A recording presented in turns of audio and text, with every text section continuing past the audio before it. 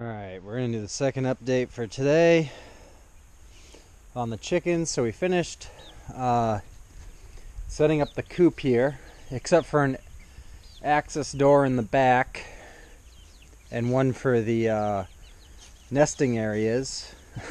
oh, hey, hey. Um, we got this all set. Uh, it's 7.15 out, so these chickens should be getting back in there. I might have to catch them all individually again and then get out through the netting, which is kind of problematic. Um, but I'm hoping that they find their way back inside there now that I'm not working on it. So I'm hoping I'm hoping for that. I'm gonna come over here because the chickens chickens like to come by and see me. And it'll encourage them to uh, want to encourage them to go inside. I'm hoping, you know, in the next half an hour, 45 minutes, as it gets darker here, they will voluntarily go inside. But, uh, yeah.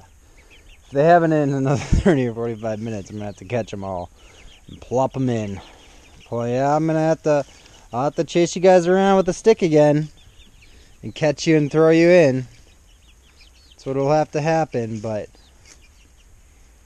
I'm hoping, I'm hoping that you guys will bring go in there yourselves. But yeah, we got we got this uh Stop pecking my feet. We got the we put um what is it? Uh a tarp. Got a tarp that I put most of the way up, but I left a little bit here so it can breathe uh, during the summer. I mean, obviously the whole floor is open too, but I want some airflow going in there and uh, this should be warmer and uh, less exposed to the weather so it should be good. The electric fence is not running yet. Still need to get some posts to hold things up better. And I need to get a battery and construct the box that the battery and the electric fence uh, regulator are going to be in. So that's going to have to be tomorrow or the day after so we're gonna have to do uh, one more night here without the chicken coop protected by an electric fence. So hopefully nothing goes wrong. I'm gonna keep a window open, so hopefully I hear stuff if it, if anything uh, nasty is going on. But uh, you know, hopefully we can go one more day here without a fence, without an electrified fence. But uh, hopefully tomorrow we'll get it up and running.